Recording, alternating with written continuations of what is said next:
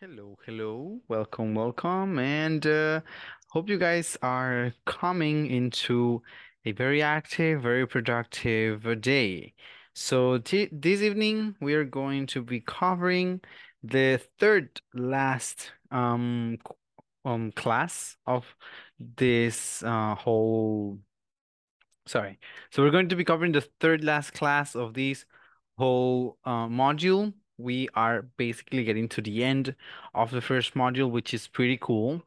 Now, tonight, we also have something to practice. We have a couple conversations that we're going to be developing, and uh, also we are going to be talking about, um, well, a few things that I consider to be important, you know.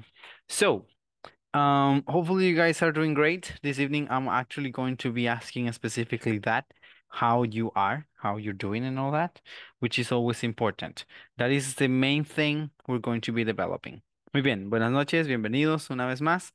Espero que se encuentren pues muy bien. Y les estaba mencionando, ¿verdad? Que estamos esta noche desarrollando básicamente la que será nuestra eh, ¿cómo se diría? Antepenúltima clase, sí.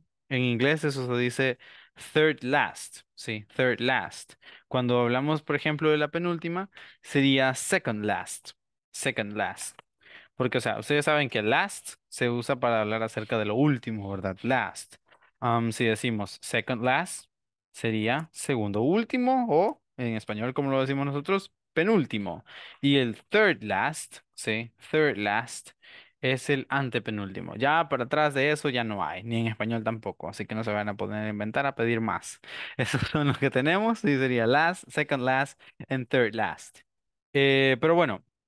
Esta noche entonces vamos a estar hablando acerca de un par de cosas importantes, eh, principalmente lo de los posesivos. Quiero que podamos practicar, ¿verdad? Esa, esa parte de los posesivos, que es algo súper importante que necesito, ¿verdad? Estar seguro que ustedes ya, pues ya lo manejan de forma completa y saben cómo se usa. Entonces, esa será parte eh, relevante de la clase.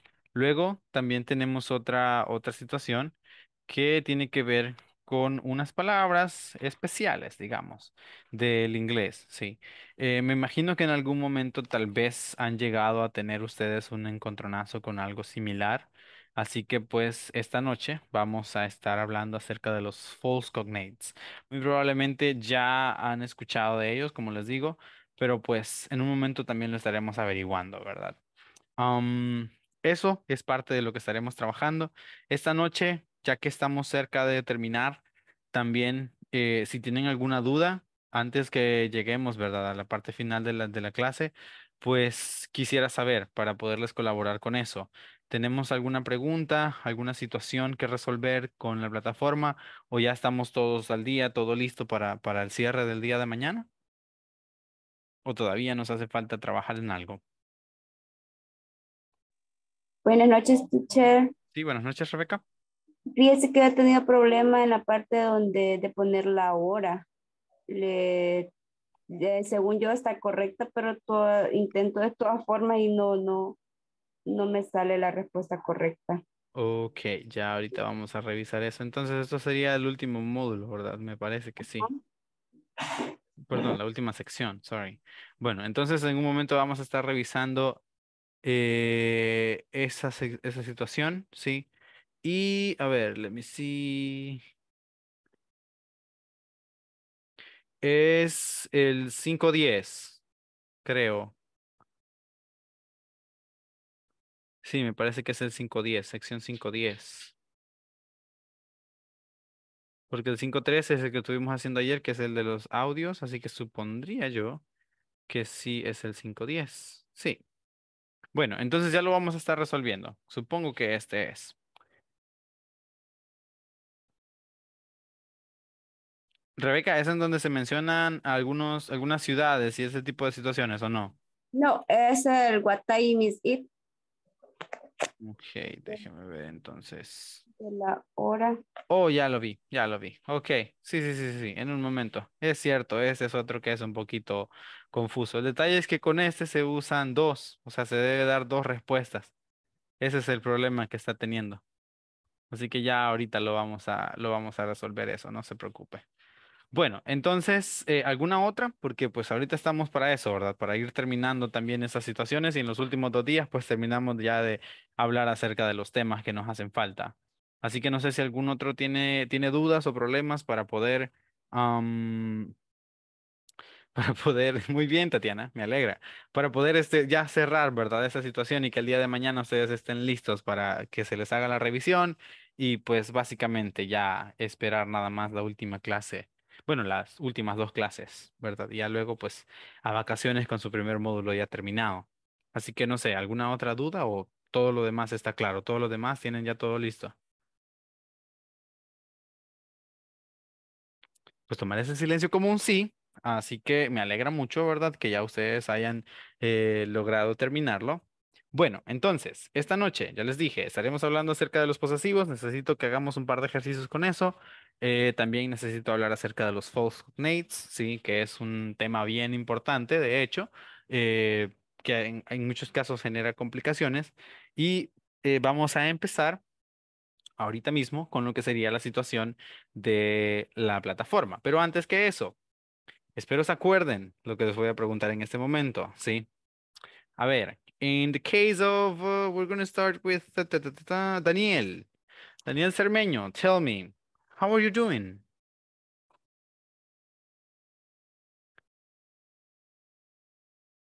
Daniel?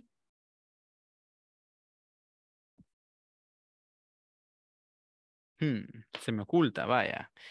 Oh, okay, that's okay. Oh, okay, okay. Understand, understood, understood. Um, how about uh, Ruth entonces? Ruth Vialta. Tell me, Ruth, how are you doing? Okay, Daniel, understood. Thank you for for letting me know. So tell me, Ruth, how are you doing?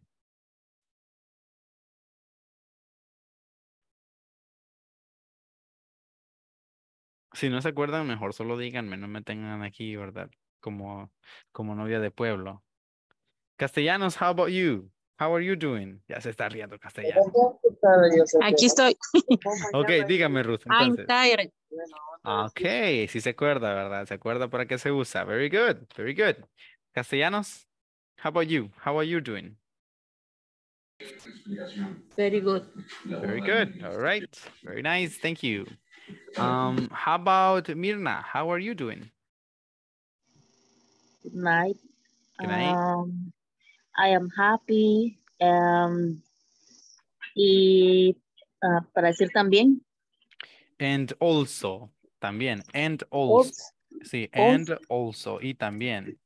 Y también. Um, tired. Okay, and also tired. Muy bien, you're happy and also tired. Okay, a ver, esta cosa, este del el also, esa frasecita se usa cuando estamos haciendo una lista, sí, o sea, como estoy, tengo esto y también esto otro, ¿verdad? Eh, diferente, es diferente cuando decimos, por ejemplo, si alguien dice estoy cansado y yo quiero decir yo también, ¿sí? Eso es distinto. Existen dos formas, que de hecho justo estaba hablando con el grupo anterior acerca de esto podemos decir me too, ¿verdad? Que esa es la de toda la vida. O sea, alguien dice, por ejemplo, I'm happy, y yo digo, yo también, yo, puedo decir me, coma, too, ¿sí? Me too. Um, si yo quiero decir que alguien más, por ejemplo, si yo sé que Jacqueline está feliz, yo puedo decir Jacqueline too, ¿sí? O sea, sin problema. Pero la que yo les voy a recomendar que usen es el decir so do I. ¿sí? So do I. Eso se refiere a decir yo también, ¿sí? So do I. Siempre que ustedes eh, estén de acuerdo con lo que alguien dice, por ejemplo, si alguien menciona, ¿verdad? I'm in a rush, o sea, como estoy todo apurado. Entonces, si ustedes también están apurados, you can say, so do I. Sí, yo también. ¿Qué pasa si yo quiero decir que Jacqueline también anda toda apurada? Bueno, pues puedo decir so does. Recuerden que para la segunda persona, o bueno, para la tercera persona, perdón, se usa eh, muy bien, Daniel. Este, se usa el um, does, no se dice do, sino does. Entonces diríamos, so does uh, Jacqueline, ¿sí? So does Jacqueline. Si Jacqueline anda toda apurada, entonces yo digo, so does Jacqueline. Y eso significa Jacqueline también. Entonces, eh, hay diferencias, ¿verdad? Eso es cuando estamos como queriendo hacer el contraste o la comparación de decir que lo que alguien siente, yo también lo siento, o lo que alguien quiere, yo también lo quiero y así. En cambio, cuando decimos y también, o sea, haciendo una lista, tenemos que decir also o decimos and also, ¿sí? O sea, also significa así también, nada más, también. O sea, yo estoy diciendo, por ejemplo, um, I like beans. I also like um, avocados. Um, also, you can add cheese. I like that too. Entonces decimos, ¿verdad? Me gustan los frijoles, también me gusta lo- el aguacate, um, también me gusta el queso. Puedes agregar eso. Y en ese caso yo puse el to al final, que es como para reasegurar, ¿verdad? El decir el también, sí. Pero entonces estábamos haciendo una lista, por eso llevamos ese also. Bueno, ah, moving on, we're gonna go to. Entonces, Daniel, ya que ya los cayó, sí, ya que hizo el esfuerzo, tell me, how are you doing? Good night. Good night. Uh, very happy. All right. Hmm, um, I'm with a lot of work. Well, you know, it is what it is. Sometimes it happens. Sometimes we have to work a lot. So, yeah, it is what it is. Muy bien, esa es otra frase. A, ustedes, esa es una cosa con la que fallé con ustedes, de hecho. Bueno, no ahora que recuerdo a los, a los que están en, en primer curso, casi nunca me gusta llenarles tanto, tanto de frases así. Pero decir it is what it is, sí. It is what it is se usa cuando eh, queremos decir, ¿verdad? Que bueno, así toca, así son las cosas. Sí, it is what it is. All right. Um, how about Mayra? How are you doing tonight, Mayra?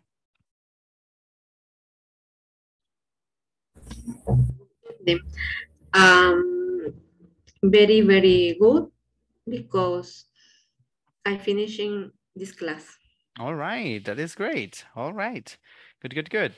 Bueno, um, and how about Tatiana? How are you doing, Tatiana?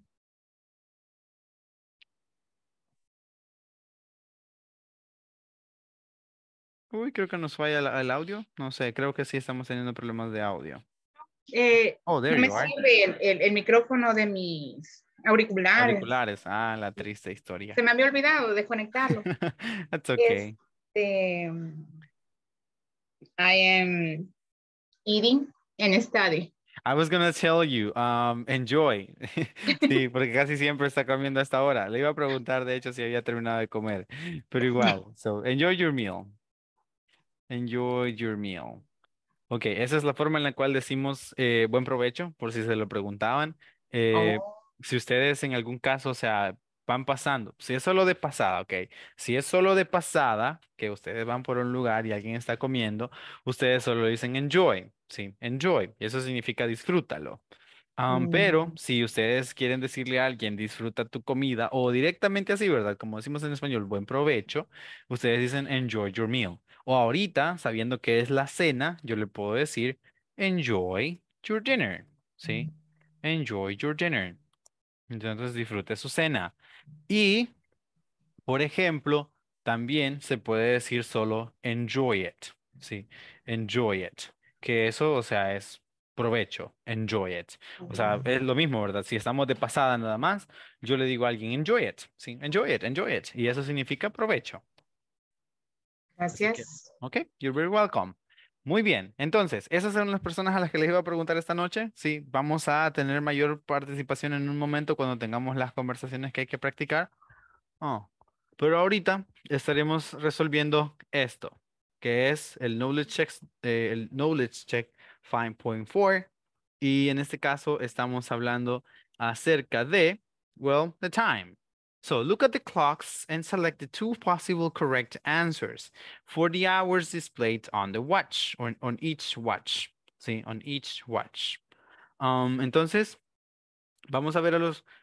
A ver, aquí hay una cosa, miren, una cosa bien compleja porque en realidad aquí es donde se generan las dudas a veces y las complicaciones con el inglés. Y de hecho, de alguna forma agradezco que esto haya sido así porque pues podemos hablar un poco acerca de esto, ¿verdad? Si se fijan, aquí al principio está utilizando la palabra clock. Sí, look at the clocks and select the possible correct answer for the hours displayed on each watch. Sí. A ver, Hay un detalle. Cuando nosotros hablamos acerca de clock, o sea, cuando utilizamos esa palabra y decimos que algo es un clock, estamos hablando de un reloj, algo bien sabido, ¿verdad? Nada, para nadie es sorpresa de que clock significa ah, un reloj. Pero cuando decimos esto, displayed on each, watch, se refiere a que cuando nosotros vemos la hora, si ustedes se recuerdan, hablar acerca de watch es cuando vemos cosas que se mueven, o sea, imágenes o, situaciones que tienen movimiento. Por eso cuando hablamos acerca de fotos, nada más, eh, decimos look at this picture o see the picture, ¿sí? La única, la única cosa o el único momento en el cual utilizamos el verbo see, que se refiere a ver, ¿verdad? Eh, con cosas que ya hoy en día entendemos más como un video, es cuando vamos al cine. Pero ¿por qué se da eso? Si ustedes saben un poco acerca de eh, cómo funcionaba antes los cines, ¿verdad? Sabemos que existían, o sea, la- las películas se proyectaban con una serie de fotos. Entonces eran como still images, iba pasando el montón de fotos y por eso se utilizó ese verbo. Sé que es algo que puede tener poco sentido y como les digo, en muchas ocasiones es la misma cultura la que deja ese tipo de cosas. Por ejemplo, si ustedes van al cine, ustedes, you don't watch a movie, ¿ok? Si ustedes ven una tele, una tele, una película en la tele, you are watching a movie. Si la ven en la tele, en su casa, o si la ven en el teléfono, si la ven en, en su, en su tablet, en su computadora, eh, pero que no sea en un cine, you are watching a movie, ¿sí? En cualquier dispositivo fuera del cine. Pero si están en el cine, no están watching a movie. You are seeing a movie. ¿El por qué? Es por eso, por la cultura o por lo que antes se hacía, ¿verdad?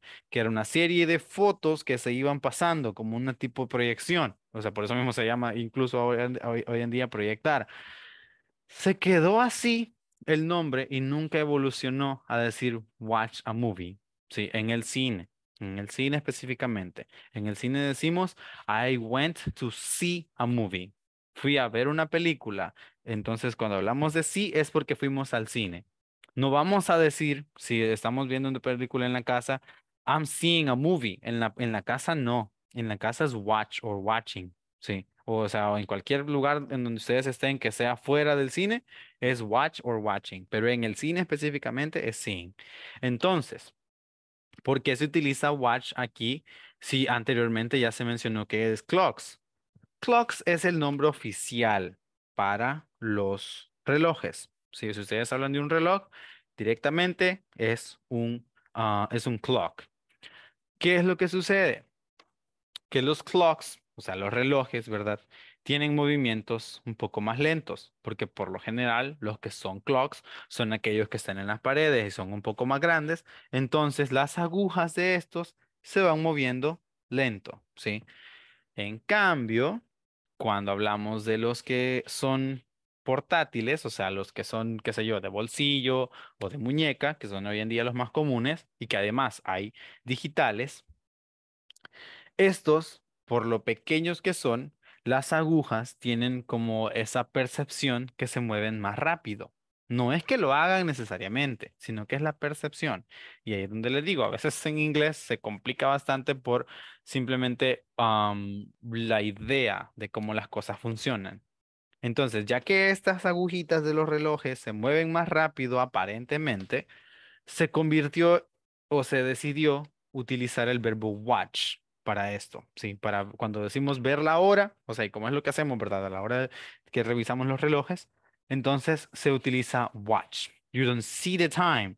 Ustedes pueden look at the time. Cuando ustedes hacen eso look at the time, es como que mira la hora, pero solo fíjate cuando dicen look at the time, estamos hablando solo de fijarse en la hora y los minutos, ¿sí? Look at the time, es solo fijarse en la hora y los minutos. Pero cuando ustedes ven la hora en su reloj, cuando, o sea, se fijan en su reloj, las agujas se están moviendo y por ese movimiento se interpreta que es un watch, ¿sí? No es un sí, sino, es un, sino que es un watch. Y después, la cosa es que no tuvieron la creatividad suficiente para ponerle otro nombre al reloj, sino que se quedaron con ese verbo, el verbo ver, ¿sí? Ver imágenes que se mueven am, rápidamente, pues eso se quedó para los relojes portátiles, para los de muñeca o de bolsillo, pues esos son los que se llaman watches. Así que cuando di- dice aquí, ¿verdad? Display on its watch, es que se refiere a eh, la hora que se muestra en cada vez que la viste, sí, cada vez que la viste. Así que cosas, ¿verdad? Del inglés, cosas raras que hay a veces con los idiomas y pues espero que eso haya quedado claro, ¿verdad? Cómo funciona esa situación. Bueno, entonces, tenemos que aquí lo que, lo que debemos hacer es observar los relojes y seleccionar las dos respuestas correctas. Entonces, creo que ahí es donde quizás nos habíamos ah, ido un poco mal, ¿verdad? Que vamos a tener que seleccionar dos respuestas para cada uno. Ahora, tenemos aquí el ejemplo, ¿sí? Ah, what time is it? Aquí puede ser, it's two after two, sorry, 20 after two, sí, 20 after two, or we can say it's 2:20, sí, 20 pasadas las 2 o las 2:20. It's 20 after two, 20 pasadas las 2, or it's 2:20, es la, o son las 2:20. Ahora, el siguiente entonces, o ya el, el, primero de los ejercicios reales. What time is it? Tenemos una aguja, la aguja para las horas está apuntando a las 7 y la aguja eh, para los minutos está apuntando al número 10, lo que significa que son y 50, ¿verdad? Entonces sería, it's 10 to 7. ah, well, in this case, it is not. It is, oh, wait. Oh, sí, sí, sí, perdón, estas dos serían. Sí. Serían, it's 10 to 7. Eh, cuando está la aguja más cerca de las 7, significa que ya van a ser las 7. Perdón, ahí me equivoqué yo. Entonces serían 10 para las 7 o las 6.50, ¿sí? It's 10 to 7, es, o sea, son las 10 para las 7 o it's 6.50, ¿sí? Son las 6.50. Entonces, esos son los dos que vamos a elegir en este caso. Para el siguiente, we have one of the, uh, of um, the arrows pointing, or the hands. De hecho, en los relojes se llaman hands, ¿sí? O sea, se- como si decimos manos, ah, sabemos, ¿verdad? Que manos se dice hands. Entonces, para hablar de las agujas del reloj, actually we say uh, watch or clock hands, ¿sí? Bueno, um, so one of the hands is pointing at between 8 and 9, and the other one is straight pointing at 9. So una de ellas está en medio, ¿verdad? Entre el 8 y el 9, y la otra está directamente a las 9. So what time is it? Well, in this case, it can be 9.45. No, it is not. It is 8.45. See, it's 8.45 or it's a quarter to 9. Todavía esta aguja no está apuntando ni al 9, no está ni cerca de acá. Entonces sería it's 8.45 or it's a quarter to 9. Sí, serían las 8 con 45 o eh, 15, ¿verdad? O cuarto para las 9. En inglés también se utiliza eso. Sorry que no hemos llegado a ese tema, ¿verdad? Pero pues ya, eh, quizá mañana hablemos acerca de eso. Sería cuarto para las 9. Sí, a quarter to nine. All right, next one up. What time is it? En este caso tenemos one of the hands pointing at 11 and the other one pointing at number one, which means a five in terms of minutes. So it is five past 11. Yes, that's one of them. It's five past 11 and it's 11.05. See, it is five past 11 and it's 11.05. Sería que son cinco pasadas de las 11, cinco pasadas de las 11 y las 11 con 5. Las 11 con 5. All right, next one up, it would be, what time is it? Well, in this case, we have one pointing close to the three and the other one pointing straight at the number three. Therefore, you, we're going to say, um, it's 3.15, it's 3.15, and it's uh, quarter past three. It's 3.15, son las 3 con 15. Or it's quarter past three, three, perdón, que sería, es un cuarto pasado de las 3. Sí, es un cuarto pasado de las 3. And the last one, what time is it? We have one of the hands pointing at number 4, or in between 4 and 5. And the other hand is straight up pointing at number 6, which means that it's the half of an hour. So, it's half past 4. Yes, it's half past 4. And it's 4.30. It's 4.30. It's half past 4 and it's 4.30. Esas serían entonces las respuestas. Si se fijan, acá está, ¿verdad? Todas están correctas. Así que eso era lo que teníamos que hacer aquí. No sé si ya con eso solven- solventamos, Rebeca.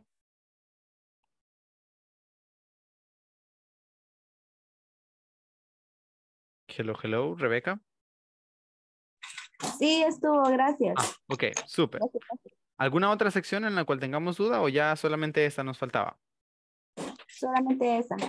All right, very good. Muy bien, entonces eso era, ¿verdad? Lo que teníamos que hacer. Bueno, entonces, les decía, esto es parte de lo que quiero que hagamos en este momento. Mayormente son ejercicios o práctica lo que quisiera obtener de ustedes. Hasta este punto casi nunca les he dado la oportunidad tanto, tanto de crear sus propias oraciones, pero ahora sí lo vamos a estar haciendo. Por ejemplo, aquí tenemos eh, este adjetivo, ¿verdad? My, ¿sí? Recordarles que el adjetivo posesivo se puede utilizar no solo en el medio, ayer fallé al decirles que ese se usa solo en el medio, se usa también al principio, ¿sí? Se puede utilizar al principio. O sea, ustedes pueden decir algo como, my phone is ah, red, digamos, my phone is red. Uy, perdón. My phone is red, ¿sí? Mi teléfono es rojo. Es simplemente una descripción acerca de su teléfono. Ese adjetivo está describiendo su teléfono. Ok. Ahora, quisiera que ustedes, alguno de ustedes, me dé un ejemplo siguiendo el adjetivo your, ¿sí? Your. A ver, vamos a pedirlo de parte de Fernando.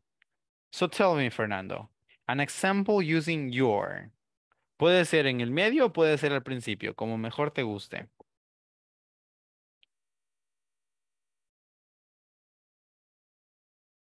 Hello, hello, Fernando.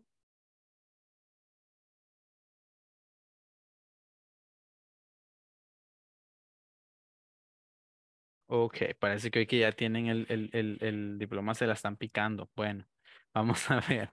Um, how about uh, Jacqueline? Do you have an example, Jacqueline? Can you think of an example using your? Uh, okay. Um, your sunglasses. Okay. Sunglasses. Um, estoy. um, ay, no sé cómo completarlo, pero. Sunglasses. Are cool. Sí. Ajá. Your sunglasses are cool.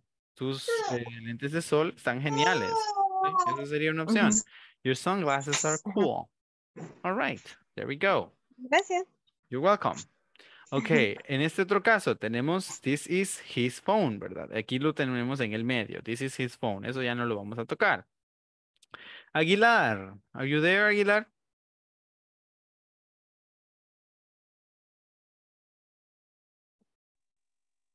Sí, aquí estoy.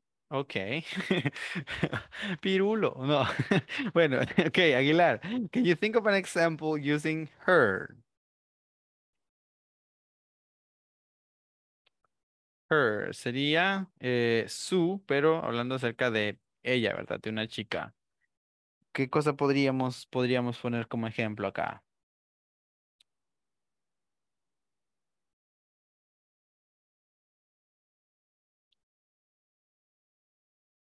Aguilar.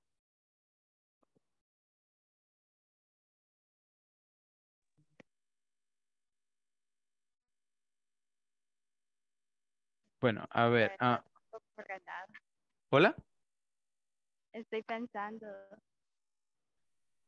Ok, bueno, vamos entonces a tomar a Daniel. Sí, Daniel calzó la mano. Tell me. Eh, the dress, the, the dress eh, is her. A ver, ahí es donde entramos en ese, en ese problema, ¿verdad? De lo que les decía. Esto tiene que estar o en medio o al principio, no al final. Ah, al final. Sí, ocupa el último. Sí, sí, sí. sí. Pero ¿cuál era, ser cuál era la oración? The beautiful dress is her. Ok. Aquí podríamos decir, sí, her dress is The beautiful. dress is beautiful. Ajá. Her dress is beautiful, ¿sí? Así que, o sea, tenemos esa diferencia, ¿verdad? En este caso es para poder describir, ¿sí? El, el, el, el vestido. Para, o sea, cuando utilizamos este her así al principio eh, o en el medio, dependiendo, es para poder describir la situación o, o el objeto. En cambio, si yo dijese um, the beautiful dress, o bueno, no, así no, porque si solo decimos the beautiful dress, no estamos dando suficiente información. Podríamos decir the beautiful red dress, ¿sí? El vestido rojo precioso, de ahí, is hers. Y ahí diríamos hers, ¿sí? Is hers. Entonces eso sería el vestido hermoso, o el, el vestido rojo hermoso, am, sería o significaría es suyo, o sea, es de ella, ¿verdad? En español lo vamos a en- a entender de esa forma, es de ella, ¿sí? Entonces, porque en ese caso lo que estamos haciendo es darle posesión a ella, como eh, de cierta forma reclamando la posesión de ese vestido rojo hermoso para ella. Y sí, Rebeca, también ese puede funcionar, ¿sí? El decir her bag is pretty, ¿sí? Her bag is pretty también funciona.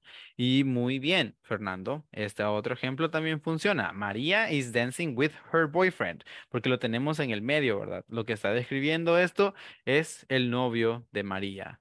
Am, dígame, Mirna. Ah, no, yo le quería dar el ejemplo con la palabra all. ¿Ok? Sería this is all um, house.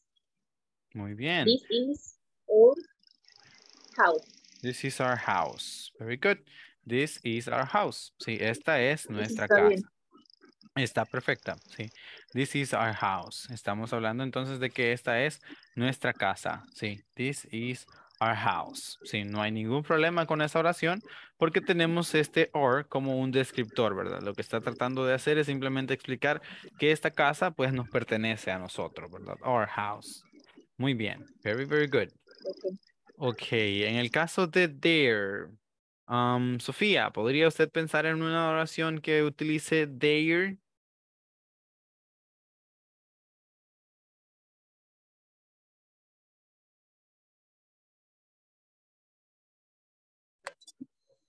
They are my, my classes. Ok. Am, sería complicado porque ahí, o sea, lo que estamos diciendo ahí, Sofía, es el, el pronombre y la, la conjugación de el be. Sí, cuando decimos they are my glasses, estamos diciendo esos son mis lentes. Aquí lo que estamos hablando es acerca de una posesión, hablando acerca de algo que le pertenece a ellos. Por ejemplo, si yo digo, ah, They are my glasses. A ver. No, es que en realidad no se puede. No, no se podría. Podríamos, por ejemplo, usarlo diferente si usamos esta parte de acá, miren, la parte en la que, en la que usamos los names. Por ejemplo, si yo dijera, ah, this is my glasses. Uy, perdón. Glasses. Sí, my glasses case.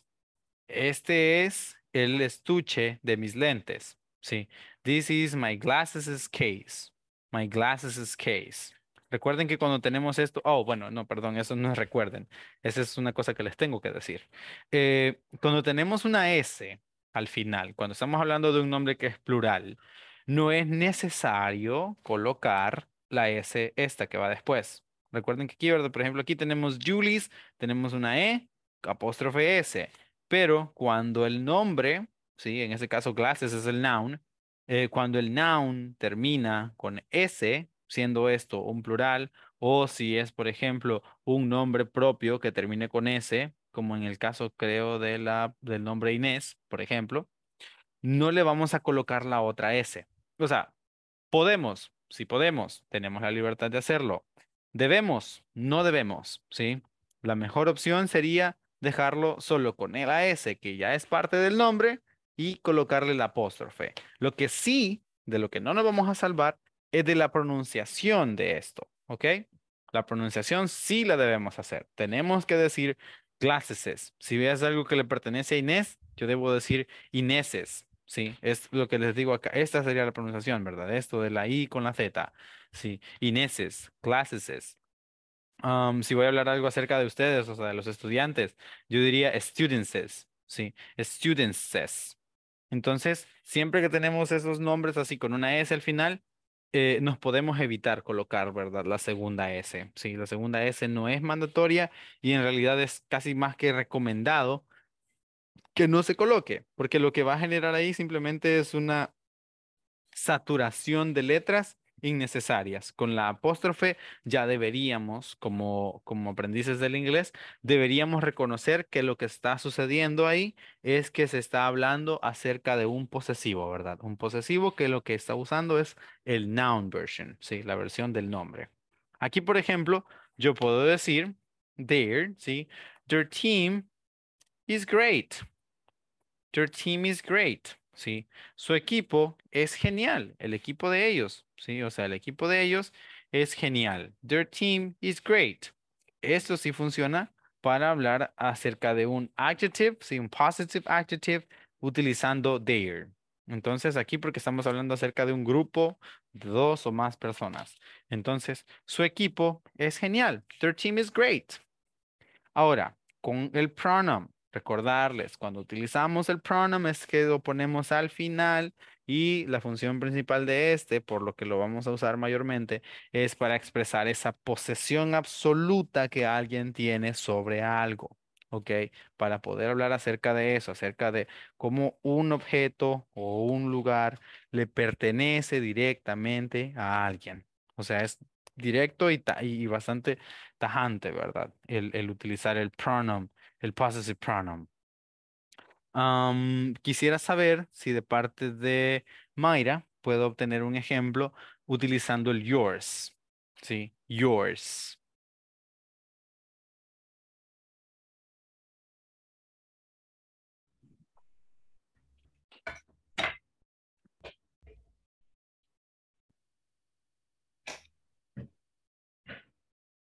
Your sunglasses is expensive.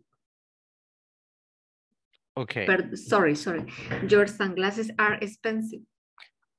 Solo recordarle, cuando utilizamos, que por eso, ven que por eso quería hacer práctica de esto.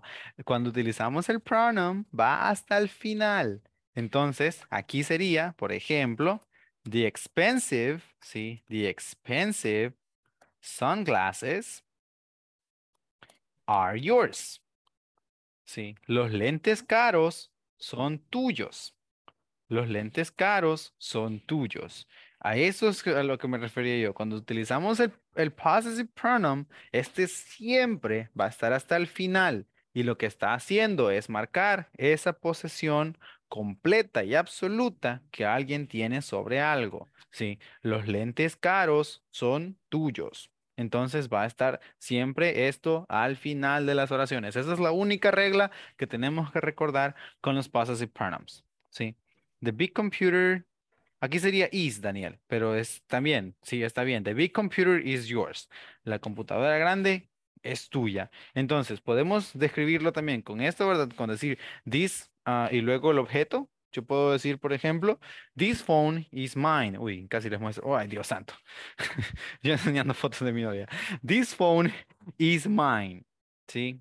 This phone is mine. Entonces estoy hablando de una posesión absoluta que yo tengo sobre ese teléfono. This tajín is mine. Puedo hacerlo de esa forma. Si no, yo puedo decir, um, the great computer is mine. Ahí estoy describiendo primero el objeto y luego estableciendo la posesión que yo tengo sobre ese objeto. Si la computadora gris es mía. Um, para la pregunta, las preguntas de hecho con este, con el possessive pronoun, es bien fácil, ¿sí? O sea, solo vamos a decir is, o bueno, en ese caso, usando el ejemplo que presentó eh, Mayra, voy a preguntar, are the expensive sunglasses mine? Siempre va al final, ¿sí? Are the expensive sunglasses mine? O sea, ¿son los lentes caros míos? ¿Sí? O bueno, a la hora de traducirlo, obviamente lo vamos a traducir diferente, ¿verdad? ¿Son míos los lentes caros? Son míos los lentes caros, pero vamos a colocarlo siempre al final de la pregunta. Sí. Are the expensive glasses mine? O si no, puedo preguntarlo así. O sea, eso es como si alguien trajo lentes caros y yo quiero saber si son para mí o para quién, ¿verdad? Si no puedo preguntar, ¿Are the expensive glasses, sunglasses yours? ¿Son tuyos los lentes caros? Entonces, para saber si esta persona tiene posesión sobre esos lentes que yo reconozco como lentes caros. Y la respuesta, yes, they are. Sí, en caso que lo sean, sí lo son. Yes, they are. O si no son míos, o de, bueno, si me están preguntando a mí, ¿verdad? Yes, they are, sí, son míos. Pero si no, yo puedo decir no, they're not. Sí, no, they're not. No lo son, no son míos. Esos lentes caros, yo no sé de quién son, pero míos no son. Yo plata ni tengo. Entonces, eh, las preguntas van a funcionar de esta forma. Ah, por ejemplo, en el caso de un, una singular, yo puedo decir, is that car mine? Ese carro es mío. O sea, ese carro es mío. Si, si alguien llegó, o sea, por ejemplo, con el, con un carro, con una chonga, y yo le pregunto, ¿is, is that car mine? Como ese carro es, es para mí, o sea, o es mío. Entonces, si pueden decirme, yes, it is. Yes, it is. O no, it's not. Sí. No, it's not. O si no, recuerden que también aquí se puede utilizar, ¿verdad? Que digan no, it isn't. No, it isn't. Sí, cualquiera de los dos. Pero entonces así van a funcionar las preguntas. En el adjective, ahí sí espero que no me pregunten porque recuerden que el adjective, o sea, se puede usar cuando sea, ¿sí? O sea, yo puedo preguntar, um, ¿Are these your sunglasses? Sí, son estos tus lentes. Va a ir en el medio, ¿sí? Um, por ejemplo, ¿Is my mom here? Sí, está aquí mi mamá, en el medio. Eh, Cuando en las preguntas, el, el adjective siempre va a estar en medio, en las preguntas, ¿verdad? Siempre, siempre, siempre. Porque no se puede iniciar una pregunta con un adjective. Se tiene que iniciar con, en ese caso específico, con el be. Sí, o sea, con el que corresponda, ¿verdad? Del be. Am, dígame, Mirna. Eh, quiero ver si entendí.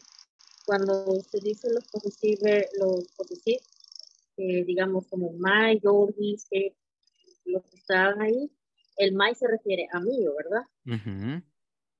El your es de su, pero es de ustedes.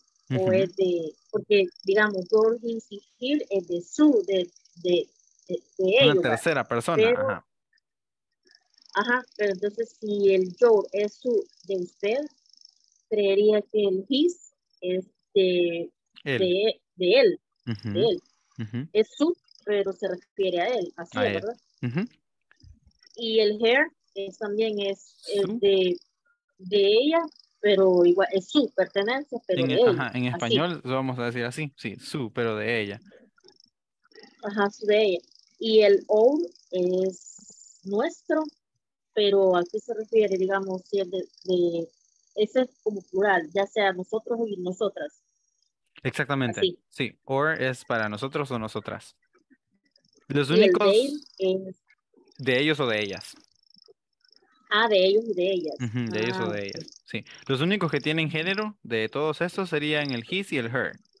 Así como también en, en- en- en singular, ¿verdad? De los, pronombres regulares sería ah, he o she. Sí, he o she. He para él, she para ella. His significa de él, her significa de ella. Entonces son los De únicos que tienen género, pero el resto no, el resto, o sea, your es para cualquiera, sí, siempre que siempre y cuando sea una segunda persona. Ah, or es para nuestro, o sea, para nosotros o nosotras. Um, y their es para ellos o ellas. Ah, ok. ok. Sí, ya me Lo mismo con el caso de it, sí, o sea, si utilizamos it, aquí lo quise, lo quité porque pues es todavía más complicado, porque, o sea, es una complicación mayor, eh, pero también, ¿verdad? Puede utilizarse para de esto, de esta, de eso, de esa, o sea, it es más amplio el significado que tiene, pero, pero sí, o sea, también es, es a género, o sea, se puede utilizar en cualquier caso. Ok. Ok. Bueno, muy bien. Entonces, pero ah, regresando, ¿verdad? A lo que les mencionaba, siempre que usemos el possessive pronoun, por favor, guárdense eso en la mente, lo vamos a usar hasta el final de la oración, sea esto una oración regular o una pregunta, porque lo que estamos haciendo es generando una, eh, ¿cómo se llama? Generando una posesión completa, ¿ok? Hablando acerca de eso, de que, o sea, esta cosa es inamovible de esta persona, ¿verdad? O sea, si yo digo this car is mine, es como que, o sea, no lo toquen que este carro es mío. Sí, the expensive glasses are yours, es como no los toquen porque estos son tuyos. Sí, los lentes caros son tuyos, de nadie más, tuyos. Entonces, para eso es que utilizamos los possessive pronouns. Um, vamos a ver. Next one up is going to be Okay, coming from Tatiana. Can we get Tatiana an example with his? Siempre va a ir al final, ¿verdad? Los pronombres. Sí, sí, sí, sí. sí. ¿Sería ah, pregunta o, o, o respuesta? Eh, una oración, para no complicarnos mucho, una oración normal. Bueno, sería... um,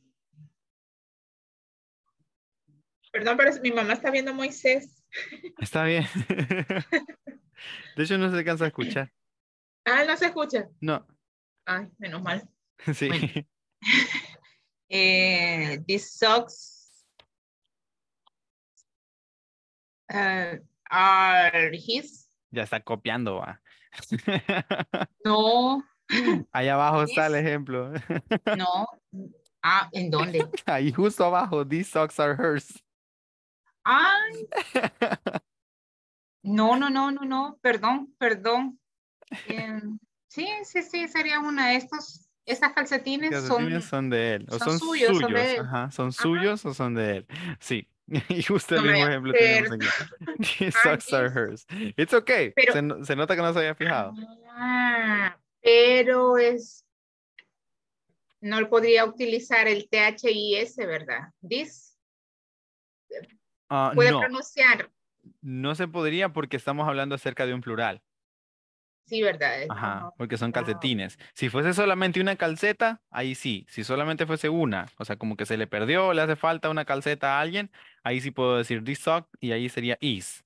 This sock is his. Sí, este calcetín o esta calceta es suya, o sea, es como de él. Sí, porque solamente es una. Pero si estamos Sí. hablando de los calcetines en general, entonces diríamos these socks. Sí, these socks are his. Esos calcetines son de él. Bueno, Ujú. Bueno, gracias. You're very welcome. Vamos a ver ahora, eh, en el caso de Liz, can you help me Liz with a sentence uh, that uses ours? Decir nuestro, sí, nuestro. Yes, um, my parents are leaving for the weekend, so the so the uh, house is our Ours. Ok, Ours, solo voy, ah. solo voy a poner la última parte porque si no sería muy largo. yes, Ok, solo sería the house is ours. Sí. para que tuviera contexto. Ajá, sí, pero, ajá, para que se entendiera, se entendiera todo. The house is ours, sí. La casa es nuestra. The house is ours. Pero igual, ajá, el ejemplo completo, ¿verdad? Está genial. Our parents are leaving for the weekend, so the house is ours. Um, so yes, the house is ours. Muy bien. Um, y por último, theirs. Theirs, que significa eh, suyo o de ellos. A ver, Beatriz, do you have any idea or an example that we can use with this um, specific example? Theirs?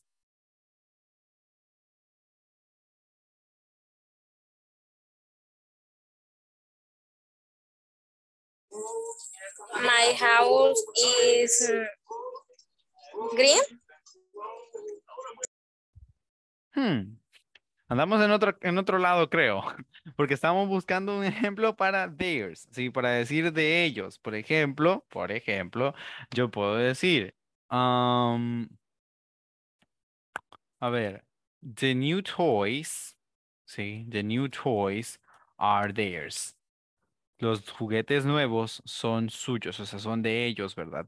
Los juguetes nuevos son de ellos. Puede ser para los, puede ser hablando de los niños, puede ser hablando de los vecinos, am, depende de, de, de, ah, la situación, ahí lo puedo acomodar, ¿verdad? Pero the new toys are theirs. Sí, los nuevos juguetes son de ellos. A ver, am, Rebeca, dígame. Eh, teacher, yo lo estaba buscando acá en el traductor y porque yo puse la piscina es de ellos, porque me aparece they pool belongs to them, T-H-E-M. Eh, Ahí estamos utilizando otra versión de posesión, ¿sí? Porque ahí lo, lo que pasa es que se utilizó en el medio la palabra belong. Cuando hablamos de belong es otra palabra que se usa para expresar posesión, que eso significa pertenece. Pero ahí, o sea, se, se está haciendo una oración un poco más larga, ¿verdad? La hora, la- ahí se- eso significaría la piscina les pertenece a ellos, ¿sí? De, de, um, ¿cómo se llama? The pool belongs to them.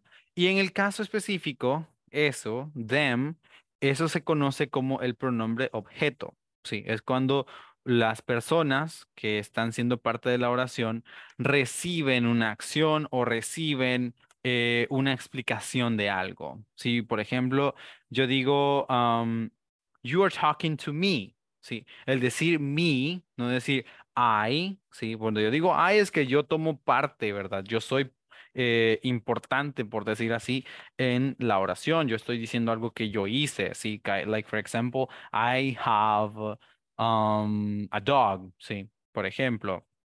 Entonces, es porque yo soy parte de la oración, estoy diciendo yo tengo un perro, pero si yo recibo nada más una oración o una acción, por ejemplo, yo digo, um, he was yelling at me.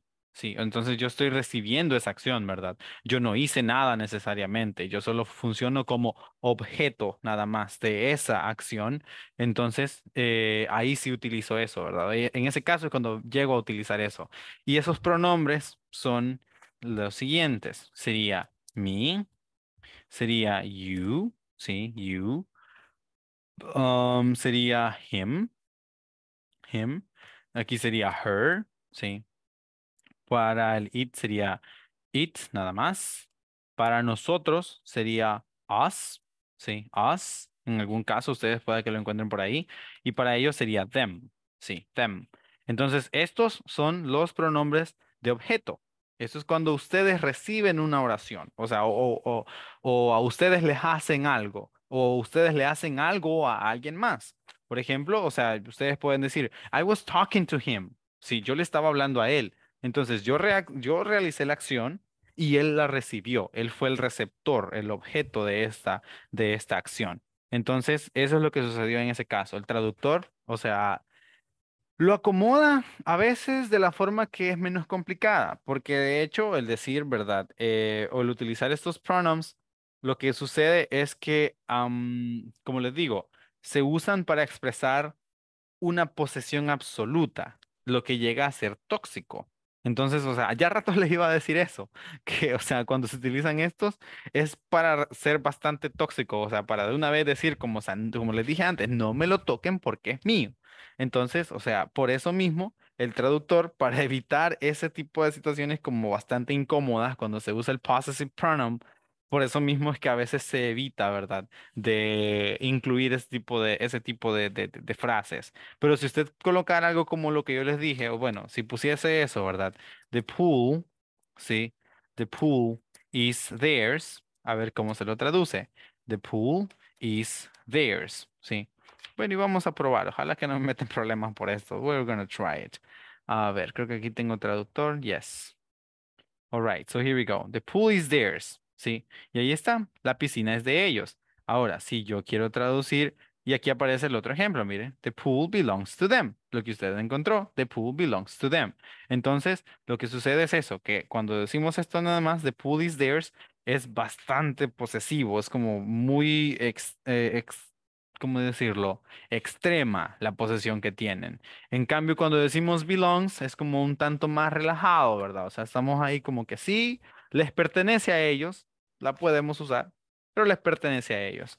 En cambio, si yo solo digo the pool belongs, um, sorry, the pool is theirs, es como no toquen esa piscina, no se metan a esa piscina, porque esa piscina es de ellos. Sí, o sea, no es de nadie más, sino que de ellos. Entonces, para eso es que se utilizan los possessive pronouns. Es lo que les he estado diciendo desde ayer. O sea que estamos hablando de una posesión absoluta de las cosas y que llega a ser incluso así, ¿verdad? Muy ah, extrema o muy tóxica. Pero bueno, espero que lo recuerden, sí, que cuando utilizamos el possessive pronoun, este se coloca hasta el final de las oraciones, no se usa nunca possessive pronoun en el medio. Lo mismo cuando hablamos del object pronoun, que es lo que les acabo de mencionar hace un momento, ¿verdad? Lo que era me, uh, you, um, him, her, us en el caso de nosotros y them, que es, o sea, para hablar también acerca de otras personas, de terceros.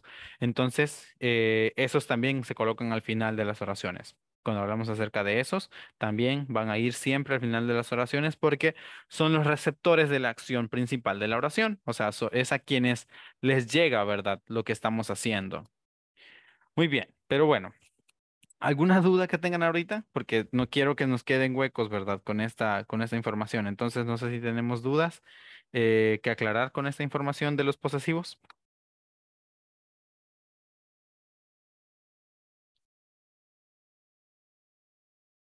Bueno, supongo yo entonces que ese silencio significa que lo tenemos claro. Espero que más adelante no vayamos a sorprendernos que nos hemos equivocado en cómo se usan. Eh, Laura, Una el... pregunta. Sí, dígame. eh, eh, bueno, eso lo vamos a seguir utilizando en los siguientes cursos, ¿verdad? Sí. Sí, sí, Bueno, sí. en las oraciones, para aclarar, los adjetivos siempre van a ir, cuando es una oración, siempre van a ir eh, al principio o en medio. Ajá, los adjetivos posesivos. Eh, si fueran preguntas, Si fuera pregunta, van a ir siempre en el medio, siempre en el medio.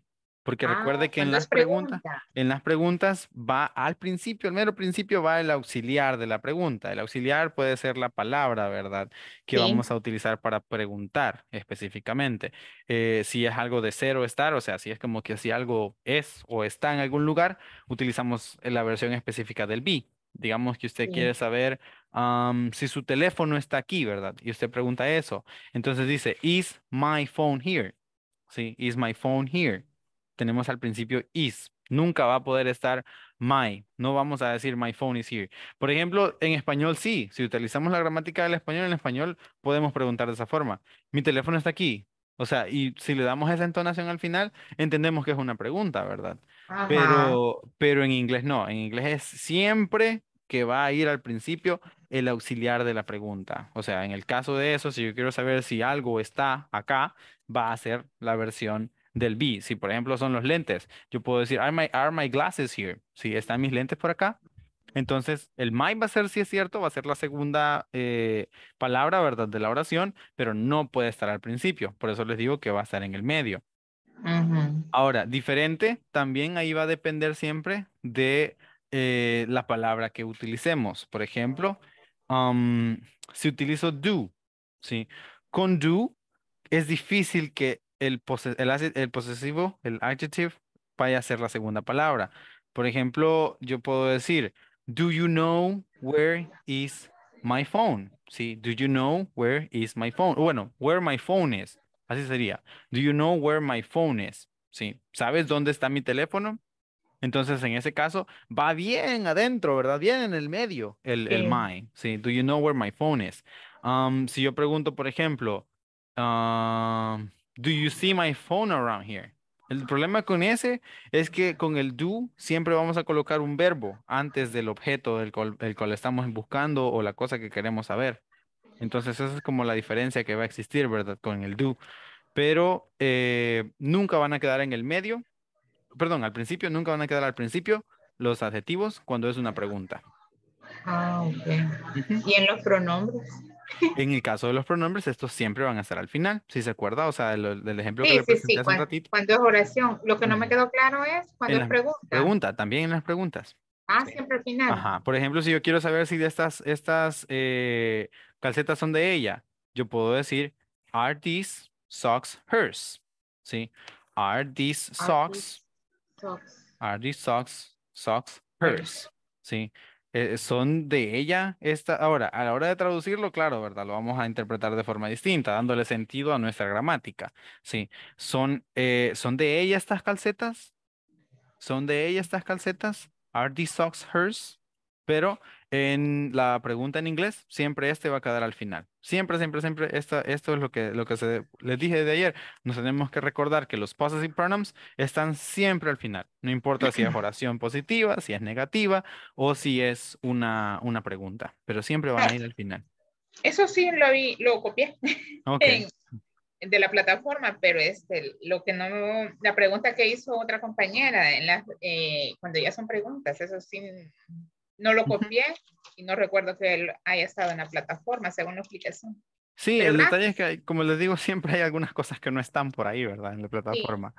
Ok, Teresa, esa pregunta es súper importante, de hecho, la que acaba de hacer. ¿Qué significa el do? El do eh, no tiene ningún significado en español. Lo que sucede es que el inglés a veces es bien inútil, ¿sí? O sea, el español es un poquito más fuerte en muchas cosas, ¿verdad? Y además, como es el idioma que utilizamos, pues también por eso lo, lo percibimos de esa manera, ¿verdad? En español usted puede hacer una pregunta de lo que sea, o sea, de donde lo que sea, con tal y le dé una, una, una tonada distinta al final de la frase, eso ya es una pregunta. O sea, usted simplemente puede decir, ¿tenés hambre? Y eso es pregunta, ¿sí? O sea, eh, en otro idioma, decir you're hungry es una aseveración, pero en español decimos tenés hambre y es una pregunta, ¿verdad? Tenés sed es pregunta. Ya llegaste, o sea, es, una aseveración en cualquier otro idioma, ¿sí? You have arrived, pero para, para nosotros en español es una pregunta. Entonces, el do en inglés lo que hace es exactamente lo que dijo Ruth, es un auxiliar para todas las preguntas en inglés que son de sí o no, o sea, cuando queremos saber si algo es o no es, se utiliza un auxiliar. Los auxiliares principales, el principal, el que se usa siempre, es el do. El do para lo que se usa es para poder abrir una pregunta, para poder iniciar una pregunta. Entonces, eh, y siempre y cuando esta pregunta sea con cualquier otro verbo que no sea el ser o estar. O sea, si ustedes quieren preguntar por algo, si es, por ejemplo, am, ¿es verde tu casa vos? O sea, quieren preguntar eso ustedes, ¿verdad? Entonces ahí no podemos utilizar do. Sí, ahí tenemos que utilizar la versión que corresponda del be. Ahí sería, is your house green? Sí, is your house green? Es verde tu casa. Si yo quiero saber, por ejemplo, ¿está tu mamá en casa? Is your mom home? Sí, no puedo preguntar con do, porque ¿cómo voy a, poder utilizar do, verdad? En ese caso, no puedo preguntar, por ejemplo, ¿do your mom is home? O sea, no, no se puede. El do se usa para todo el resto de, de preguntas que puedan existir. Por ejemplo, si yo quiero saber si alguien cocina, ¿do you cook? ¿Sí? ¿Cocinas? Si eh, yo quiero saber específicamente si cocina algo, puedo preguntarle, ¿do you cook lasaña? ¿Cocinas lasaña? Sí, entonces en español el do nunca se va a traducir cuando se usa en preguntas, ¿verdad? Cuando se usa en preguntas, por favor, o cuando se usa también de forma negativa, nunca se va a traducir el do. Se traduce el do en oraciones regulares. O sea, si por ejemplo yo digo, um, I do my homework, yo hago mi tarea. En ese caso estoy hablando de una oración regular, o sea, I do my homework, yo hago mi tarea. En ese caso significa hacer, ¿verdad? En una oración así. Pero, por ejemplo, si estoy contestando a alguien que me dice, um, do you like cookies? ¿Sí? ¿Te gustan las galletas? Eso me preguntaron, ¿verdad? Do you like cookies? ¿Te gustan las galletas? Si yo le digo, yes, I do, lo que estoy diciendo es, sí, me gustan. Pero lo que pasa es que estoy utilizando el do como suplemento o como su, ¿cómo se llama? Para suplantar al verbo principal de la pregunta. Entonces es ahí donde se complica la cosa, ¿verdad? En lugar de decir yes I like, yo mejor solo digo yes I do. Y de esa forma, para nosotros se complica, pero en realidad simplifica mucho las cosas. En lugar que ustedes tengan que decir yes I like o yes I cook lasaña, ustedes solo dicen yes I do y con eso ya contestaron. O sea, ya dijeron sí, lo hago. Sí, fácil, ¿verdad? Entonces, eh, el do en ese sentido, lo que pasa es que simplemente sirve como auxiliar, como un camino para poder abrir una pregunta y también para poder ofrecer una respuesta a la pregunta misma. Pero bueno, Esta clase ustedes no se las programaron como clase de, de 9 a 11, así que hasta ahí la vamos a dejar por hoy. Si mañana quieren más ejemplos o más explicación de eso, eh, lo podemos eh, conversar, ¿verdad? Pero bueno, thank you guys very much for your attention. Thank you for your extra time. I hope you have an amazing night. And I also hope I'll have you tomorrow. ¿sí? Mañana entonces vamos a estar teniendo nuestra penúltima clase, así que espero que puedan estar acá. And yeah, so thank you very much and see you tomorrow. Have a really good night. Bye-bye. Good night. Okay, bye-bye.